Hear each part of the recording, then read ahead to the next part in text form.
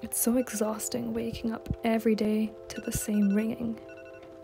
The voice in your head telling you just five more minutes. The inner dilemma we have between our bed sheets as the rain outside trickles down the window. What if we could just fight that feeling with a simple rule? A countdown of five, four, three, two,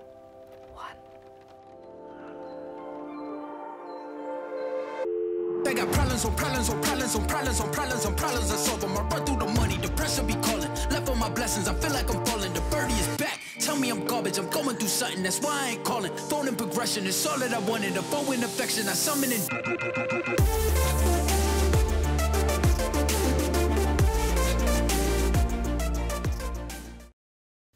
Welcome back to my channel. If you're new here, my name is Katy and I'm a designer and filmmaker. I upload videos to YouTube about my filmmaking and also my design practice. So if that's something you guys are interested in, please do subscribe. So the video you watched at the beginning was a little short film I made for Nike. It's not anything to do with them. They didn't ask me, they didn't pay me. I bought those shoes. I just wanted to try something different. And you've got to test yourself sometimes and you give yourself these little briefs. So this was all on my own back, no association with anyone, just me. Now, when I first ever get an idea for a video, I sit down with my laptop, hit record, and film myself talking about the video idea. This came from a fellow filmmaker on YouTube called Hey X Natalie. Natalie? Natalie? I forgot her name, I'm so sorry. E. She does this, and it's just a good way of just getting your initial thoughts out and like not onto paper but just visualized because sometimes when you're trying to write down your thoughts, it can be really hard. Okay, so I have an idea. So I start off the process with talking to myself, filming myself go through the idea, and then I translate it into notes and type up all my kind of ideas and the structure that the video may have. Now, in that initial like video note to myself, I said I didn't want to overcomplicate the story. I wanted to be a super simple story. I didn't want it to seem super thought out and different. It was the first idea that came to my head. It's a common story a lot of people will associate to. The whole, oh, getting out of bed is like the hardest thing in the world. Ugh, exercise, who wants to do that? So many people associate with those feelings, and so many people feel those feelings. So, to make it as simple and as generic as possible was kind of the strive for that video. I didn't have to overcomplicate it to get the same message across, if that makes sense. I also chose to marry up the whole getting out of bed idea from Mel Robbins' book. Like, the reason she started doing the five second rule was because she was struggling to get up in the morning. Not necessarily an issue I suffer from, but it's more like I was stuck in a rut and I just felt like I needed something to kickstart me again. And this video was also to kickstart me in terms of filmmaking again. I really wanted something to just be like, you need to just do it. You just need to get up and do it. You just need to grab that camera and do it. That's what this film was for me. And that's what kind of started the process and the idea churning in my head.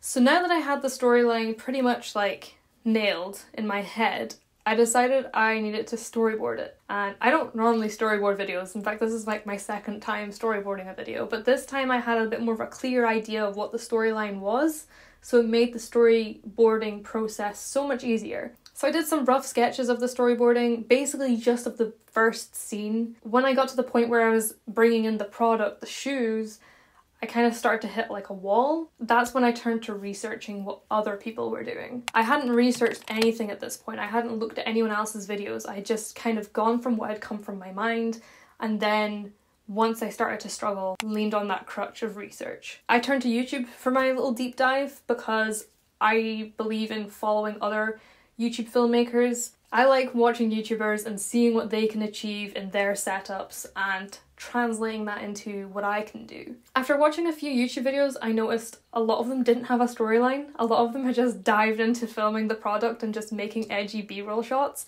And I'm guilty of doing that in the past, believe me, like that is how I would have just gone for a video, but now now now now but now knowing that story is really important and can help entice people in, I feel like I was on the right path doing it the way that I did and thinking of what the story was going to be before I even thought about how I was going to film and edit it. I really wanted to try and flex these extra skills that I haven't really utilized in my film career path thus far.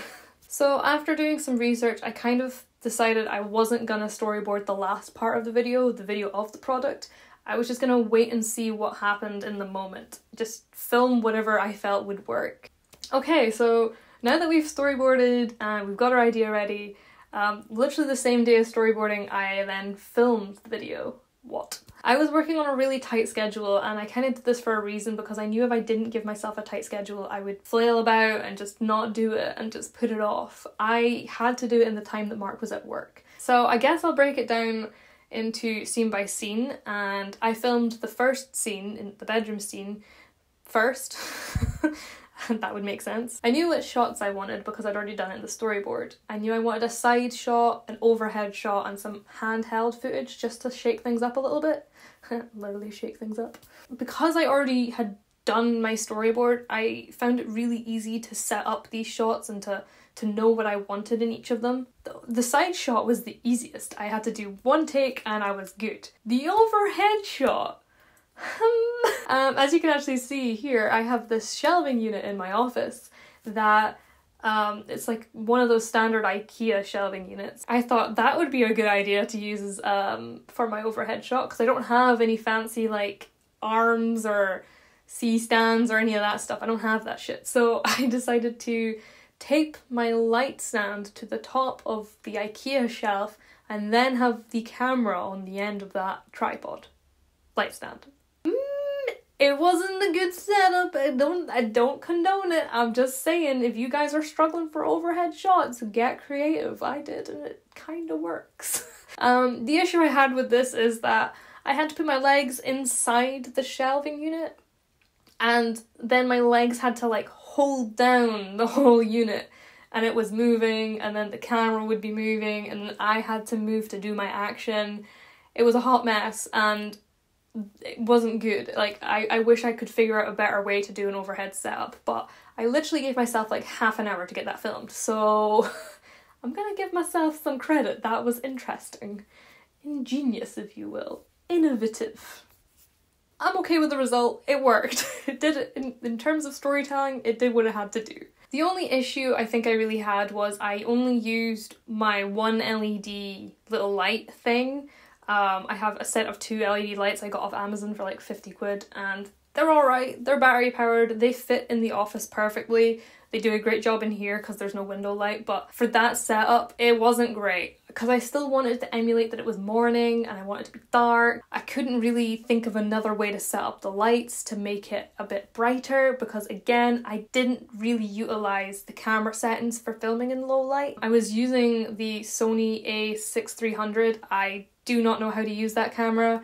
Um, I'm borrowing it from Snap, a film company in Aberdeen, to help me learn how to color grade and use 4K footage. It was it was great like getting to use that camera, but I just I feel like I need to research it a little bit more to understand which settings would have been best in that scenario because I kind of did just jump into it. As much as I planned the story and the shots, I didn't plan my settings or anything like that. For next time, I'll be on it. the next setup, um, scene, scenario, whatever you want to call it, was the door scene and it was only there for like a split second but I really liked the the shot in terms of like how I had to hold the camera in one hand and then move the door with the other. I did it maybe like two or three times and then I got super anxious because I have neighbors and I didn't want them to think that I was just like slamming the door shut like constantly like I'm sorry. But it looked really cool. I'm really happy with how that one turned out. I wish I'd been a little bit more in focus on the actual box but shit happens that's fine then we go to our third setup which was the tabletop setup and I'm so happy with how that one turned out. Like that's my favorite part of the entire video obviously it's the most fun part of the video where all the editing happens and the cool angles and the snazzy shots. Like, that's the fun part. But yeah, I'm super happy with how that turned out. For the setup, I'd seen a lot of people on YouTube using their glass tables for the reflections and stuff, and it just looked so good. But they always had something black underneath it to kind of just like extra heighten the, the reflection. I didn't have time to like nip to Hobbycraft or anything like that to pick up some A1 paper. So I was like, maybe if I use like this black throw underneath it, it'll work. No, did not work. I then decided to resort to bin bags. it worked really well. It was lightweight enough that the he- like the the sellotape could hold it up and it gave this nice like rippled effect on the glass that just kind of gave the mirrored look a really nice interesting texture that I wasn't expecting. So yeah, bin bags. Who knew? Yeah, then I just played about with filming. I just like used it handheld or on the table surface. I didn't do any fancy gimbals or anything like that. Again, I only used one light. I kind of wish I'd spent more time on the lighting. I did this all in like 10 5 minutes, I swear to God, because Mark came home and I was just like, okay, I'm done. but if I'd had more time, I would have set up some lights so I could have had like teal and an orange light to match up with like the editing and the box. Not because teal and orange lights are like super popular, guys, but because I think it would have matched up like the orange box with some blue light. I do want to experiment more with color grades and stuff like that, so if I'd given myself a bit more color to play with, I think it could have been a really punchy looking edit. And in terms of like the overall like edit, I added in some like glitchiness to it because I personally love a glitchy edit, kind of like an editorial, punchy, sporty vibe. It's very in right now with fashion brands and I just love glitchy edits, like that's my jam. I did a bit of that, I added in like that nice bright kind of teal cyany colour, added in some of that kind of cool colours. I did do an RGB split but I took out the R because I didn't like having the red in there, I was just like nah. Yeah, I kind of tried to find music that fits the vibe of the overall video. I use Epidemic Sound, this track worked perfectly. There was actually an extra verse in it where he just repeats the same couple of lyrics and it isn't as punchy so I just cut that out and crossfaded it in and I was like that sounds good. Nobody will know. Now you guys know. I'm sorry. I'm a wizard. I'm sorry. So yeah um I did that and added in some rain effects at the beginning. And the voiceover the voiceover was actually recorded on my iphone. I would pick it up right now to show you but it's also recording this voiceover. One of my friends will at snap actually asked me like holy shit dude what microphone do you use? I'm like my iphone. Super underrated microphone if you guys are looking for a like an, um, if you have a phone just use it. Like it's way better than camera audio. Only kind of other editing things I did was adding in some keyframe scales at the beginning to kind of just change up the movement.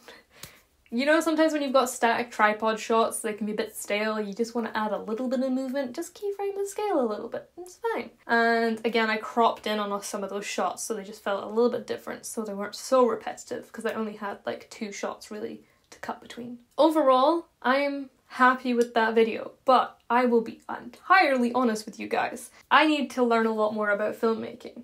I need to learn so much more about filmmaking. Like, I made that super quick and I'm super happy with it, but like, I know there's flaws in it. Like, 100%. I'm just using this as a way to experiment and to trial out new things, and it's a way for me to kind of open up and ask you guys for feedback. You know, it's it's easy to share work that you're super proud of and you think is perfect, but it's even harder to share work that you you know there's faults in and that you know people are gonna pick on and be like that clip's a little bit noisy though, isn't it? And I'm just like, oh, I know, but I didn't know what to do. So I'm totally open for feedback. Please give constructive feedback. Don't just say it looks shit because that will hurt my feelings. I'm still a human being, but I am totally up for constructive criticism and feedback and all that jazz. So if you guys have any thoughts on the video that I edited or even this video I recorded, that would be amazing. Leave them in the comments below. If you guys are interested in seeing more videos like this, do subscribe. I plan on making